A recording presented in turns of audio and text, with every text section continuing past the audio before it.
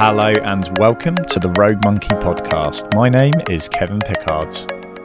Our platform exists to share stories of those who are challenging convention, are often trailblazers in their own right, and ultimately aim to inspire others to do the same in their lives.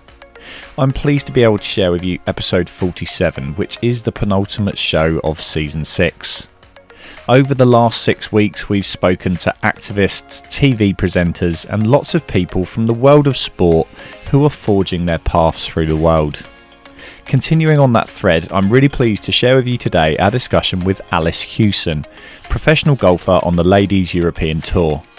I've known Alice for quite a while now, and it's been awesome to watch her journey unfold.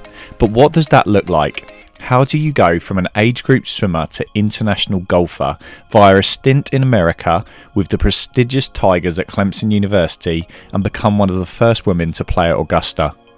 Alice is such a passionate sports person, and it really was a fun interview to record. So I hope you enjoy it as much as we did as we get into episode 47 of the Rogue Monkey podcast. Alice Hewson, exploring the journey to becoming a professional golfer. Hello, Alice. Welcome to the show. How are you doing? I'm doing good, thank you. How are you? Yeah, very well. Thanks for taking some time to join us today. You're in sunny isolation in Hertfordshire, I gather, at the moment. Mm-hmm. Yeah. Awaiting a visa to head back to the sunny US, but we'll explore more of that as you go on. But um, if you can just give us a quick introduction as to who you are and kind of why you're joining us today. Yeah, absolutely. Um, so I'm Alice Hewson. I am a professional in the Ladies European Tour. I just finished my rookie year where I was able to win my first event on tour. So that was exciting. Um, hoping to get status on the LPGA in the future. But as a background, um, I went to Clemson University in South Carolina where I got an accounting degree um, and a minor in legal studies. So really enjoyed my time over there. I think that was really helpful. Um, my mum is a swimming coach, so I used to swim an awful lot as a kid. Um, went to nationals a few times, won a medal, made a lot of finals. So really enjoyed the swimming part of growing up. Um, but yeah. Awesome. Well, we've got plenty of things to unpick there. So uh, I'm curious. Obviously, you weren't born with a golf club in your hands, but I mean, how early did you kind of pick up the sport of golf? Um, I first started kind of practicing and taking some group lessons when I was six.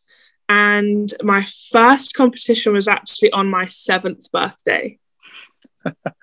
See, this is fascinating because obviously a lot of people talk about early specialization sports, maybe gymnastics or swimming or diving or whatever it is. Uh, and sometimes, you know, we almost forget there's quite a lot of other sports out there that you perhaps start really early on. So, especially being a competitive swimmer, and for anyone who knows you know competitive swimmers it's quite full on when you're young how did you balance doing golf and, and swimming oh it was so hard i felt like i was on the go at all times um, you know i was swimming up to eight times a week when i got to about 13 years old and trying to practice as well luckily i didn't do school sport i would take that time to practice my golf um, so that was really helpful um, it's definitely a challenge trying to juggle all of it. But you know, the swimming fitness helped with the golf and vice versa. I was always on the go. That's pretty cool. And I think, you know, obviously at a young age, I'd imagine there's just probably not this ultimate goal of where it could end up or even a vision of where it might end up. But kind of at what point on that, those first few years, did you kind of think this, this could become something perhaps a little bit more than what it is now? Um, I always really enjoyed my golf, and so kind of from a really young age, I'd always thought, wow, it'd be really cool to be a professional golfer. Um, I'd say like right around 13 or 14 was when I decided that that's what I wanted to do as my job. Um, and it was at that point that I had to make the decision between my golf and my swimming. Um, you know, it, there comes a point where there isn't enough time in the day to do both. You need to kick the swimming on to be doing 24 30 hours a week and you need to be doing more in the on the golf course so um, yeah it was about then that i kind of made my decision so let's just go back a little bit fast forward back to say 14 and then what what was training like for, from a golf point of view because you know i play golf but I, i'm nowhere professional so give us a bit of an insight into what that looks like from a training point of view um well i was still in full-time school and so as i say i was just kind of taking the time out of school sports to go and practice my golf. So that was probably five or six hours out of the week, like not really too much. Um, and then on the weekends, like those were my only real opportunities to do kind of golf specific stuff. Um, I'd see my coaches an awful lot, lessons of a weekend. And then, you know, the summer's the best time as the nights get longer and you can start going out and playing a few hours after school. Um, that really helped. yeah, and I guess that's something that is a real challenge in this country from from a golf point of view. And I've had this discussion with a few people we've had on around winter sports. And actually, you know, there's only certain times of the year, if even if you live in the, the heights of Scotland, where you can actually do winter sports. And actually, this probably applies here. It's quite hard to go and play golf when it's an inch thick of snow or pouring with rain and, and waterlogged everywhere yeah, those conditions are not ideal. Um, happily play in the rain. I've had lessons in the snow before. Um, just makes it a little bit more challenging. Yeah. It's um it's curious. Can you remember any of like your early memories around competitions and some of the the experiences you had?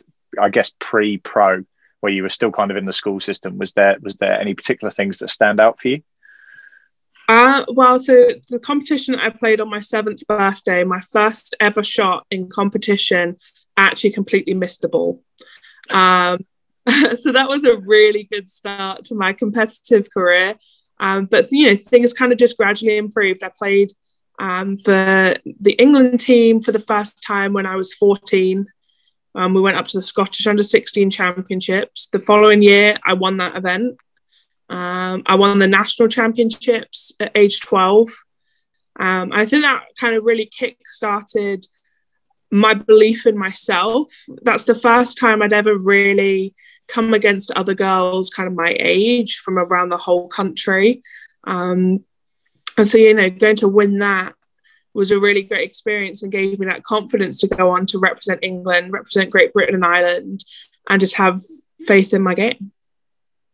So, obviously there's you, you going through the school system and by its very nature school kind of looks after itself you know year seven becomes year eight year nine becomes year 10 yeah. so at what point then did you kind of start looking beyond the school gates if you like where you actually thought right what does the next steps look like if i'm going to take this on beyond the world of school so we actually have some really really good systems in place um, and when I was that 11 to 12 year old age group, I was in the county programs. They would have group training with the other girls and the other ladies within the county.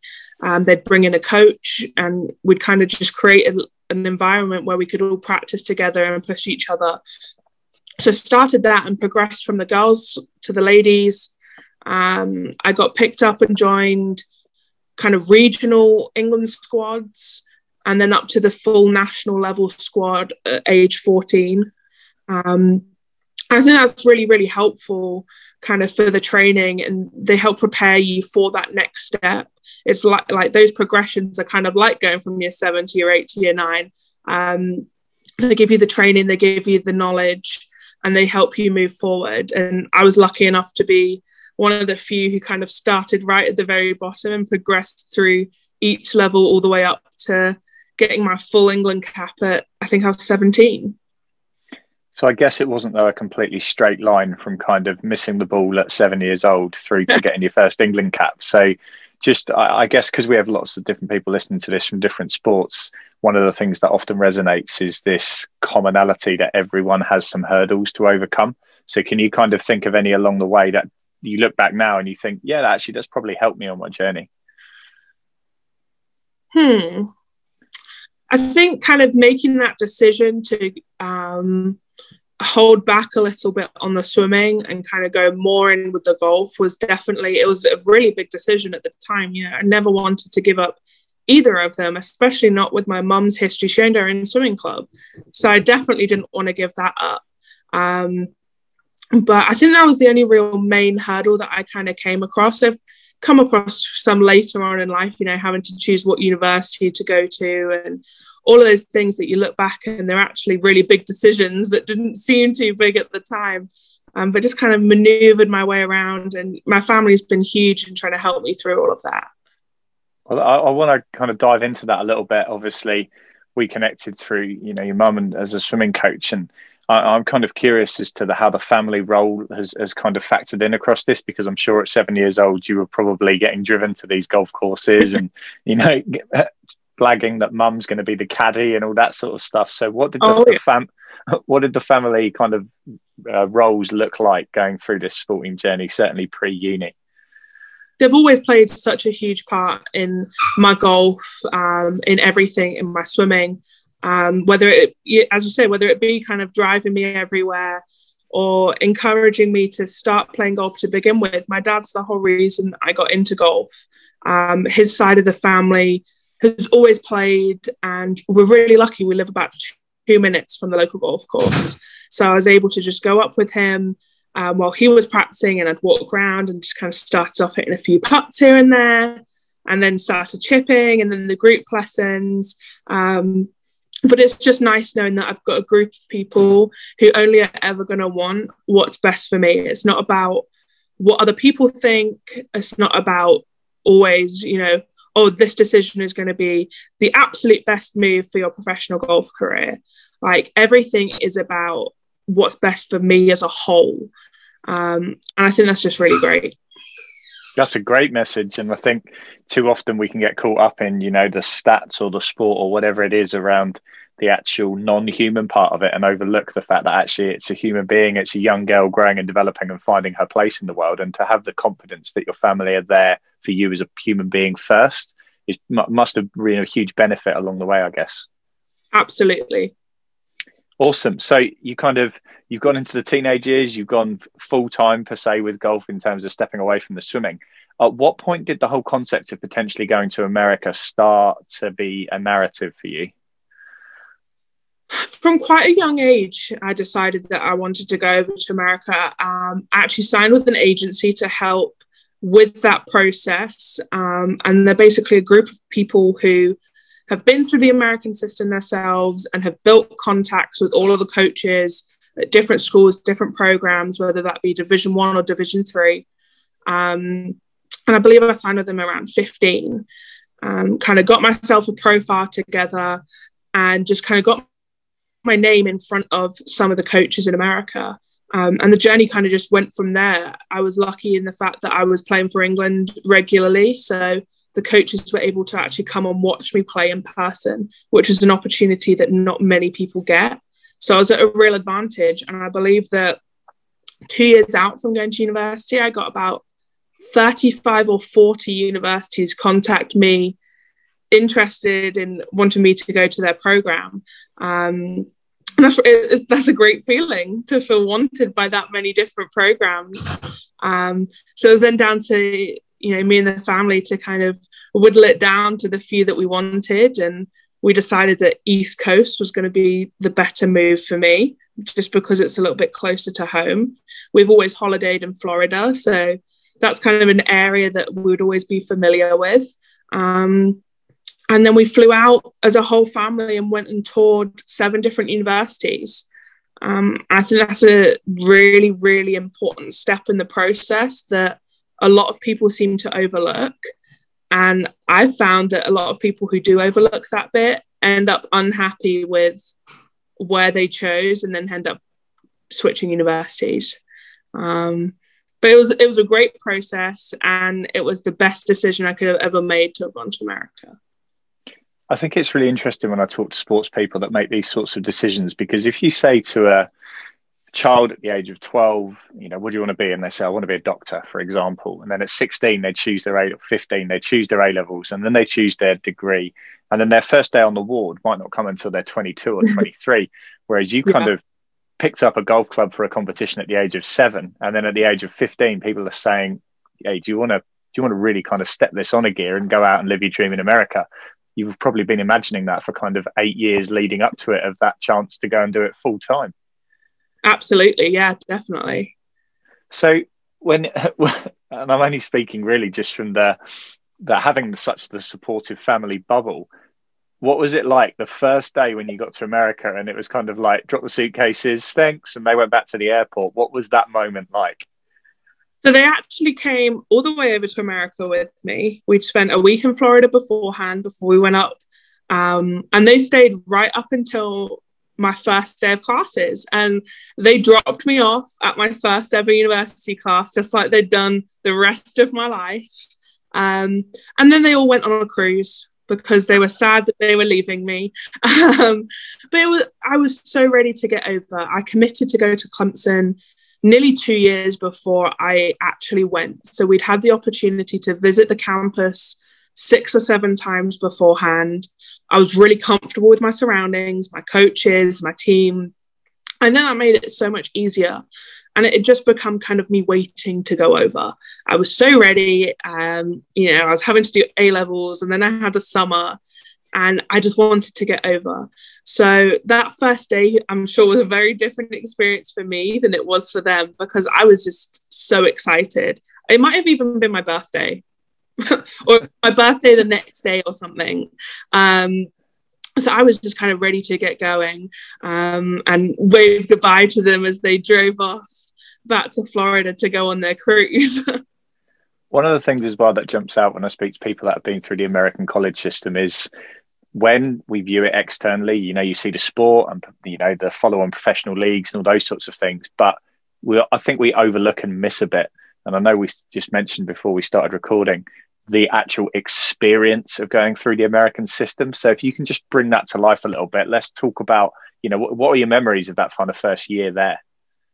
Oh, my first year was incredible. Um, I actually won my first two events in college. So that was a great start golf wise. But just kind of getting to know the girls on the team um, and experience life in a different country. I had to wait six weeks before I could drive my car because, you know, get a social security number and then I had to go and pass another driving test and I had to do all of these different things before I could drive. So I was completely reliant on my teammates to kind of help me through these first six weeks. And I actually think that looking back, that was the best thing that could have happened because I really got to know them properly. By the time they're picking you up at 5.30 in the morning to go and work out and then driving you to the golf course later on that day, you have a lot of car rides with these people. Um, and you're just trying to get, get chatting with them. Um, but you know my experiences the whole way through were just incredible i had to go from an environment where you know my mum helps me with my laundry and they're taking me everywhere to all of a sudden I have to schedule my own stuff and it's my responsibility and no one's going to come and tell me to come and clean my bedroom or that I need to do laundry and all of a sudden you've run out of stuff. Um, so just kind of that adjustment I think was really really important for me in like my preparations for turning pro and living out on the road more. Um, but even just the basics of you know learning on what to pack each week and not forgetting every anything making sure that you've got a mini medicine bag in your golf bag at all times in case you get a blister. Like all of those small details that you'd never even think of before going over i've just kind of picked up and learned from the other girls from the coaches um, and can take it with me to life out on tour I mean, you mentioned tour there, and obviously you must have had some incredible travel experiences as part of this. Were there any kind of standout trips or experiences you can remember that actually impacted on you beyond, you know, just the amazing golf courses? While in college or while on tour? Uh, well, anything so far. um, we had some really cool experiences this year out on tour. We got to play in Dubai at night, so it was on a floodlit golf course, um, and that was really exciting. But we also went to Saudi Arabia, which was um, a really new experience for everyone. I mean, they've never had a female golf event there before. So for us to be the first group of ladies competing over there was an exciting experience. Um, I've had a lot of firsts. I was in the first group of girls to have the opportunity to play at Augusta National. Um, I played the Augusta National Women's Amateur my senior year of college, so I believe that was 2019. Um, I've just had so many really special experiences throughout my time at university um, with the England teams, with the Great Britain teams, and now on tour. I find it a bit curious, again, coming from a traditionally individual sports such as swimming and a traditionally individual sport such as golf in terms of participation you've already used the word team and kind of support networks so much already so uh, how has that i guess dispelled the myth that actually although these are individual sports it's definitely not something that you do on your own Absolutely not. And I think being in those team environments in England and at Clemson have then prepared me for realizing how many people I need around me for life on tour. You know, in England and in at Clemson, you've got a group of other girls who are also players. You know, they've got to look after their own needs too because you need them to play well for the team to do well. But we travel with coaches. We've got um, at Clemson, we've got academic help, um, which is obviously a really big part of being a student athlete.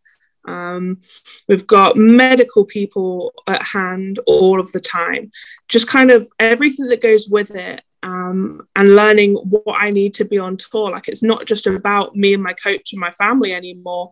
It's trying to build a group of people around me to try and do the best that we can.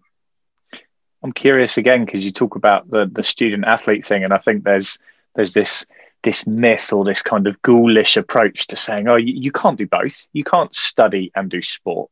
And actually, obviously, you're kind of living, breathing example that actually you can. So, what are the kind of things that that you've learned along the way that's helped you, I guess, manage that and balance that? I think that's one of the biggest differences between American university and staying over here to do university. Because I'd say, from what I can see, the British university system, you are there as a student and you do your athletics on the side. And it's kind of down to you to do your practice, to go to tournaments, like do whatever you need to do with your sport. And that would be exceptionally challenging. Whereas going over to America, it is truly an experience of being a student athlete. It is split 50 50. You have equal support in your athletic side as you do it in your student side. Um, not only did we have the kind of regular advisors at Clemson, we had specialist advisors that worked with individual teams to try and assist with planning schedules so that all the girls on the team could have um, classes on a Tuesday morning rather than all day on a Tuesday so that we could you know get together and practice as a team in the afternoon. We had specialist buildings with tutors available to us at all times so that we were if we were struggling in a class we were able to kind of go in and ask for specific help. Um, and, you know I didn't require as much help as other people but you've got teams with American football and with basketball. And so our advisors are there to help us keep on top of doing our assignments because when you're that busy, it's so easy to just let some things like fall through the net. And so they're there to be like, okay, have you done all your assignments for this week? Have you done this checklist of items? And just the whole generic support of everything that you do is there while you're in America. They can help you in every aspect that you need them to. And I feel that's quite a big difference than the experience you might get over here.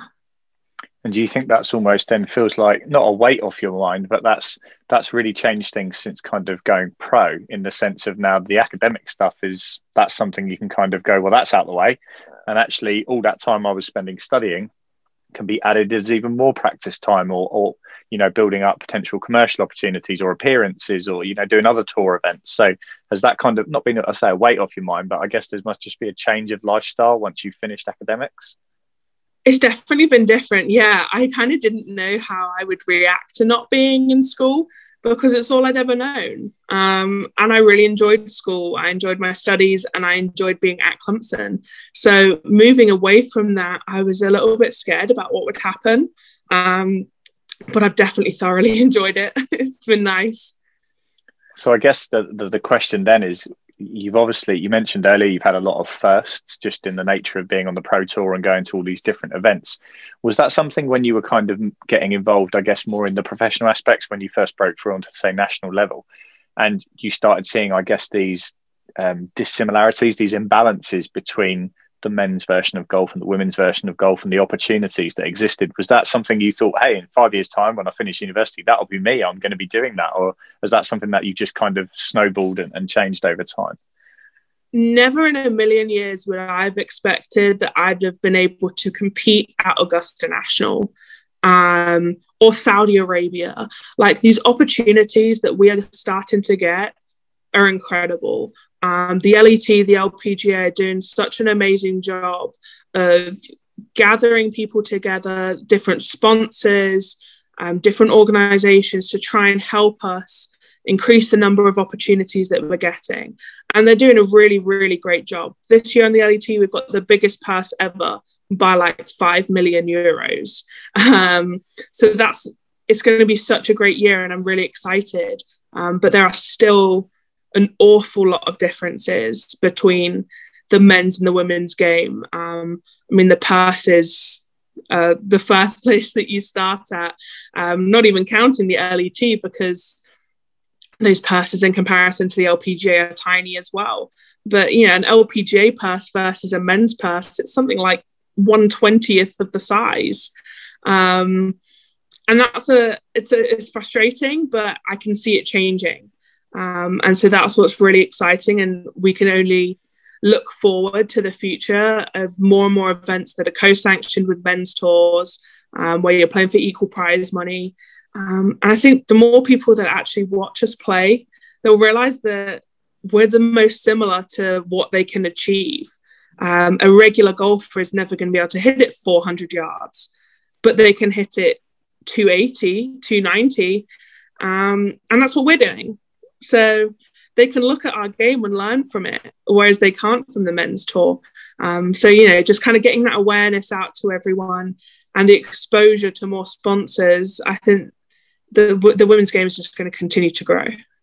But that must be really exciting for you because I think very often you probably had people who went through their entire professional career as almost feeling like a bystander and not seeing any change take place. Whereas, you know, this isn't a unique discussion we're having. You're going, you're seeing events pop up in different sports, you know, whether it's tennis or swimming or whatever other sports are out there, that where these new innovative leagues and competitions are popping up and saying 50 50 split.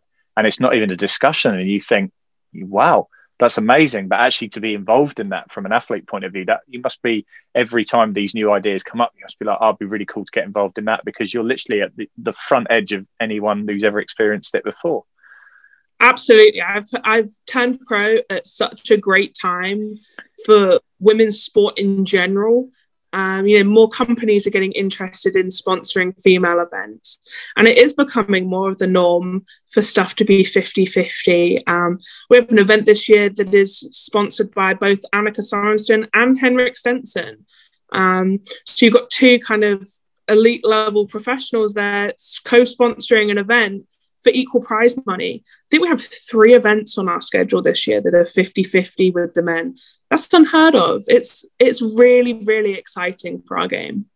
It's even more exciting to think that the next generation coming through won't see that as an issue. They would expect it yeah. being the norm, whereas obviously being I remember watching the, the BBC footage of you, of you playing at Augusta and was thinking, I can't believe we're having this. This is a thing in 2019 because if it was happening in like most workplaces and stuff like that, there would be outrage about it. But in sport, it just seems to take so much longer to see change. Yeah, definitely. I mean, that was an incredible experience. I never ever thought that I'd get that opportunity. Um, and it all seemed to happen so quickly as well. I think they announced it in the February and the invitations went out almost instantly and we were playing the next year. That's so exciting. And that's it's so exciting to what comes next. And I guess there's a couple of things that I want to ask you before we look to, I guess, future stuff for both the sport and for yourself. Looking back, and obviously you're still really young and relatively early on in your mm-hmm. pro career, but what what kind of core messages have you picked up that are probably as applicable to golf as they are to football as they are to swimming or, or whatever it is? What kind of lessons from life have stuck out with you so far? Um, I think just to kind of always believe in yourself um, and kind of continue down your own journey. Not everyone's journey is going to end up the same way. You know, some people choose to stay in school, some people choose to turn pro at a young age. Um, but just make every single decision with your final goal in mind and it'll work out. Everything will always lead to that end point whether you know whether that particular one pulls off at the time or not it's okay because overall it will all work out in the end. That's a really nice positive thing. And i guess then going forwards what are kind of your ambitions looking ahead both for the sport of golf and for yourself on this sporting journey? Um, so got a really exciting year this year. Um, it's going to be a bit of a balance, trying to stay between the Ladies European Tour and the Symetra Tour, which is the one beneath the LPGA. Um, trying to earn some money over here, but at the same time get some status on the LPGA tour. So trying to balance those two is going to be important. But the the overall goal is to get on the LPGA. Um, that's the dream to play in America. That's where all the money is to, and all the best players in the world. So that's where I'd like to be. And I'm going to do everything I can this year to try and get myself onto that tour, whether it's next year or the year after. Um, but yeah, and then personally, I guess it's just to kind of enjoy the process. We've already said I've got a really exciting scheduled plan for the year. Um, got a huge long list of countries that we're going to. So kind of try and take a little bit of time while I'm in each of those to actually enjoy where I am. Brilliant. And then they said one final thing. Cast your mind back to the, the seven year old, you know, missing that first golf ball. What would you say to her if you could go back and give her one message? Just keep going. don't worry that you missed it. Don't dwell too long on the bad bits, um, and just always try to take the positives. Awesome. Well, thank you for your time today, Alice. It's been really cool, and it's I so I remember it when you were still swimming. So it's really nice to have seen you kind of go through the whole American system, being on the pro circuit now, and, and seeing where it goes next. Because, like you said, it's a really exciting time. So thank you very much for your time today. I really enjoyed it. Oh, thank you. I've really enjoyed it too.